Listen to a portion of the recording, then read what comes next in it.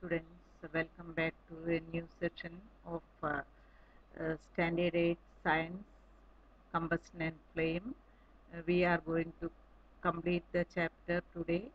The last part, uh, last video, I had explained about global warming. That is due to the combustion of uh, most of the fuels produces carbon dioxide in which will be releases in the atmosphere or in the environment increased con- concentration of uh, carbon dioxide in the air is believed to cause global warming. So that last uh, session i had explained. Today we will uh, study about more about that. So wha- what are the results of global warming? Global warming is the rise in temperature of atmosphere of the earth. That means what is global warming? Global warming means the normal temperature of the earth is from minus uh, 50 degree to 50 degree celsius. But due to global warming the temperature of the earth is increasing more than 50 degree celsius. This results among other things including the melting of polar glaciers. That means polar regions uh, the whole year it is covered with ice and due to the high temperature the ices big pieces of ices we will call it as glaciers which start melting and that water will be going to the sea and the level of the sea is increasing this results among other things including the melting of polar glaciers, which leads to the rise in the sea level, causing floods in the coastal areas. So the level of the seawater increases, that means the coastal areas will be affected very badly. It enters the water into the coastal areas, causing floods. Low-lying coastal areas may even be permanently submerged underwater due to the high tide. All the water from the sea will be entered into the coastal areas and that coastal areas will be completely submerged in sea or ocean. So these are the results of uh, global warming. Now apart from that due to the burning of these uh, fuels some other problems also happens in the atmosphere or environment. That is burning of coal and diesel releases sulfur dioxide gas.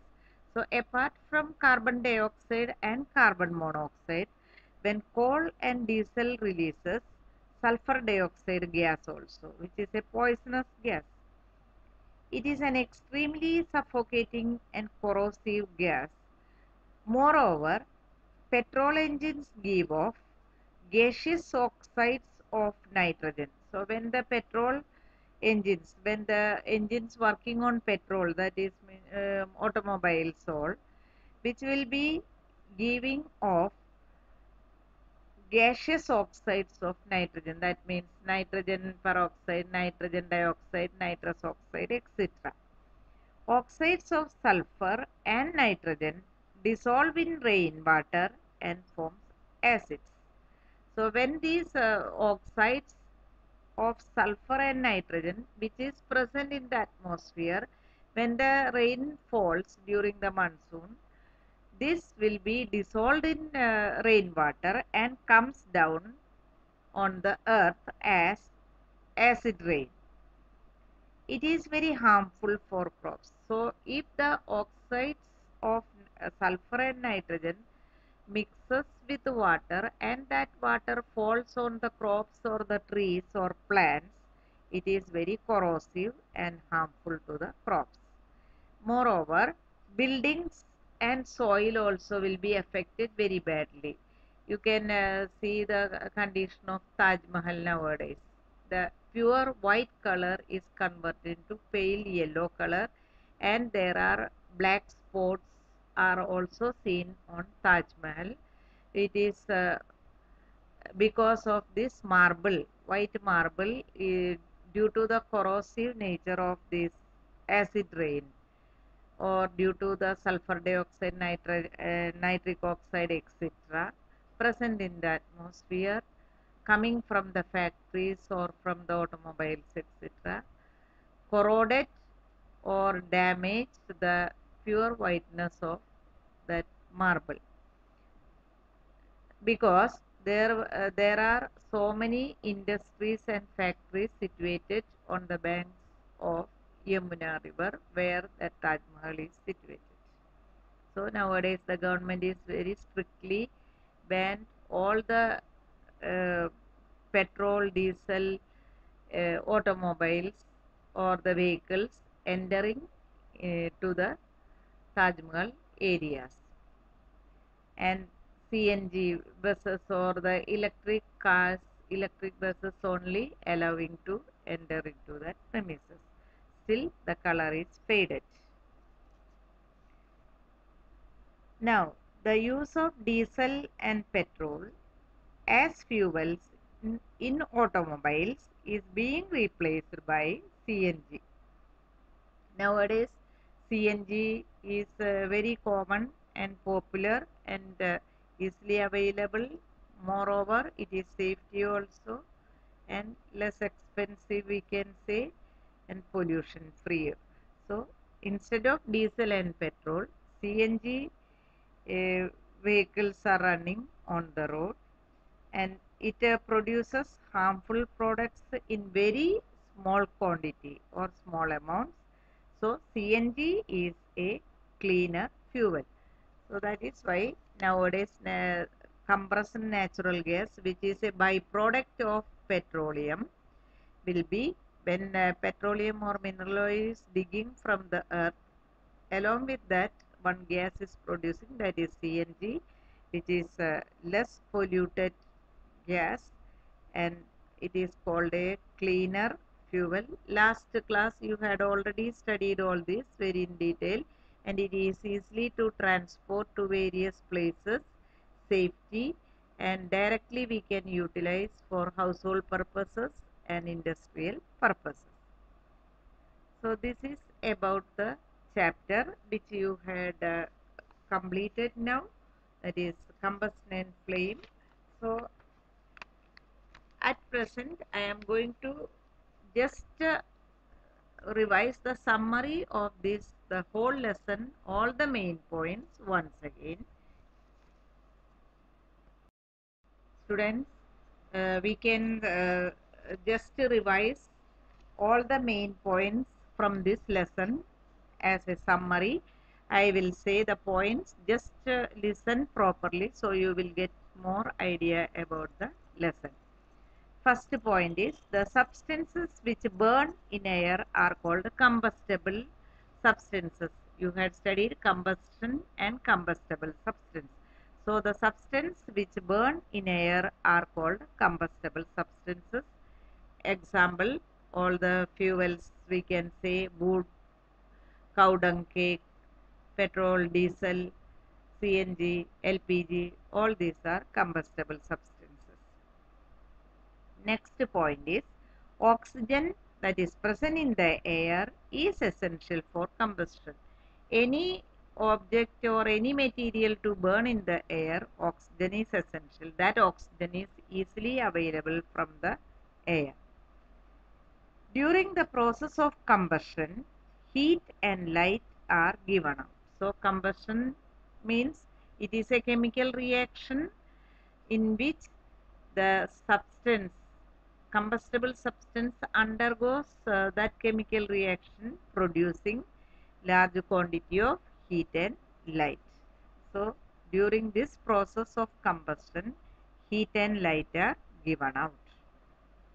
Ignition temperature is the lowest temperature at which a combustible substance catches fire. Next point you had studied is what is meant by ignition temperature. Ignition temperature is the lowest temperature at which a combustible substance catches fire. Ignition temperature of different objects are different.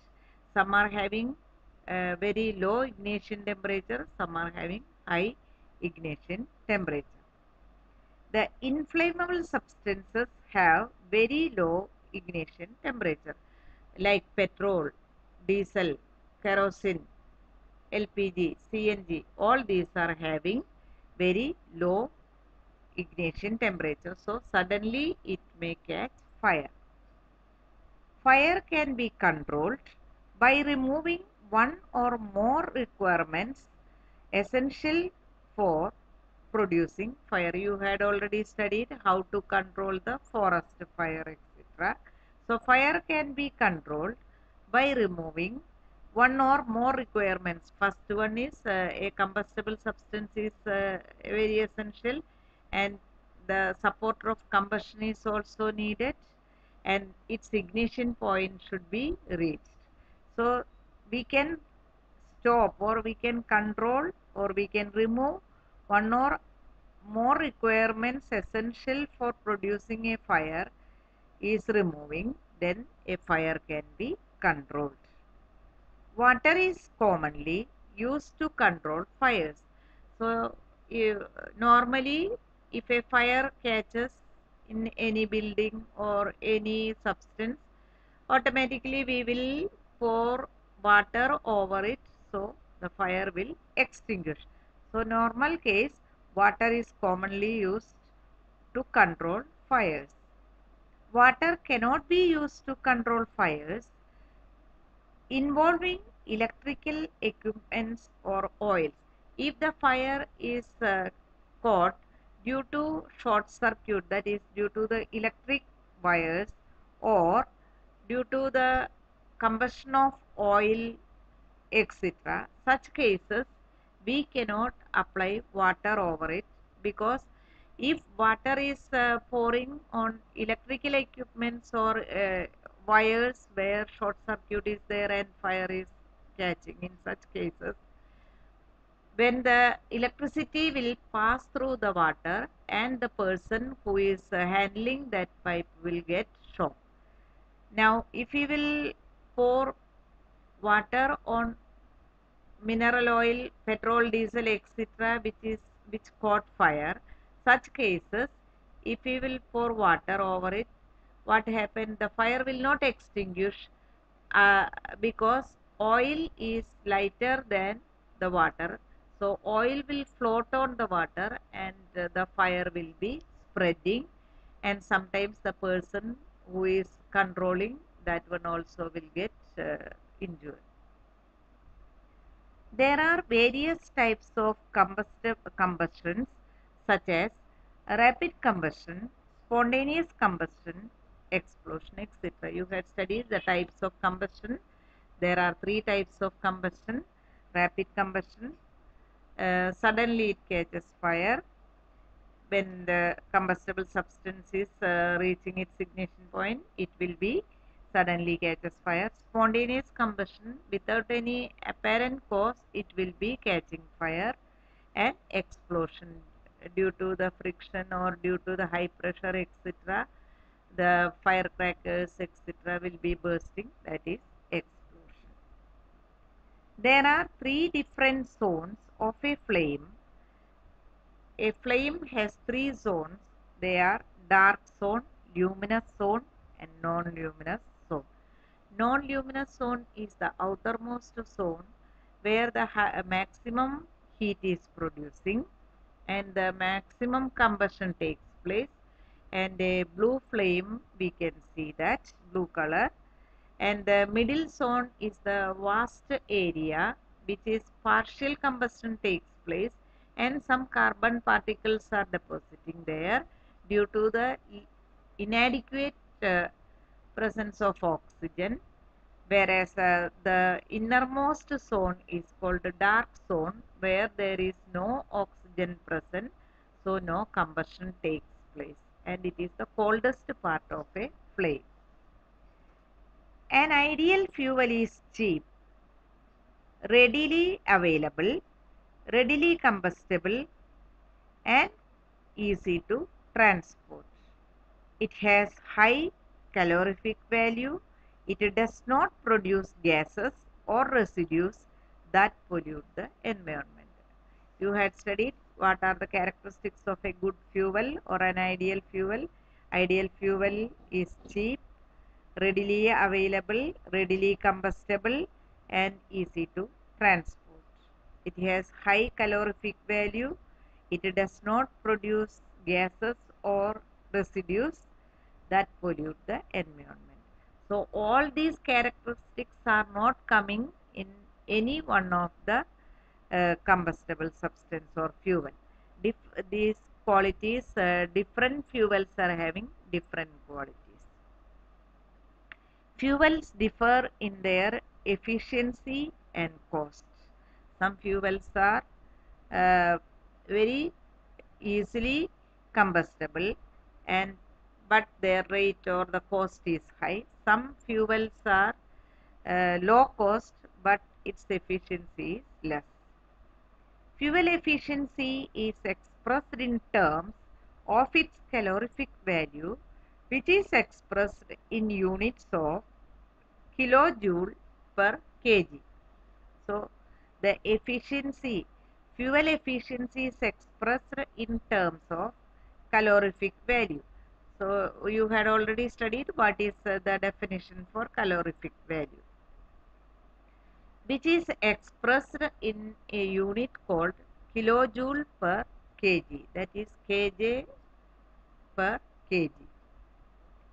Unburned carbon particles in air are dangerous pollutants causing respiratory problems.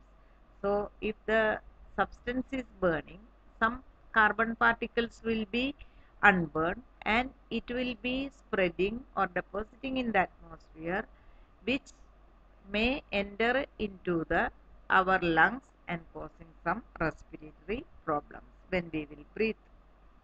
Incomplete combustion of a fuel gives poisonous carbon monoxide gas. If the combustion is partial or incomplete due to the inadequate quantity of oxygen, then the instead of carbon dioxide, carbon monoxide, highly poisonous gas is producing which is fatal to the living beings.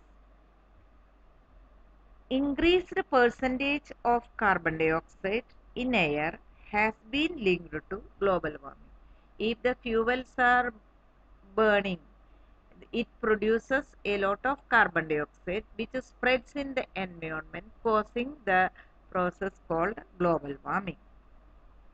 Oxides of sulfur and nitrogen produced in the burning of coal, diesel and petrol cause acid rain which is harmful for crops, buildings and soil.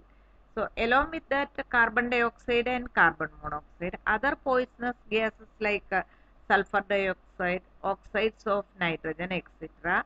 also producing when the fuels are burning. And these oxides of nitrogen and sulfur mixes with rainwater comes down as acid rain and which causes the crops, buildings and soil. So these are the main points of the lesson. So students uh, listen the video properly part by part I had explained and the whole summary also I had explained now. So coming days you will get the notes of this particular lesson. Whatever notes is coming in on the global board, please write the index properly and write all the notes in the notebook and learn well. So we will meet again with another lesson. Till then, goodbye.